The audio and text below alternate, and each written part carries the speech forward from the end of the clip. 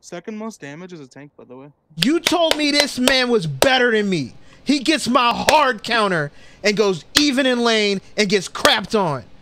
Fuck you talking about silver scraps?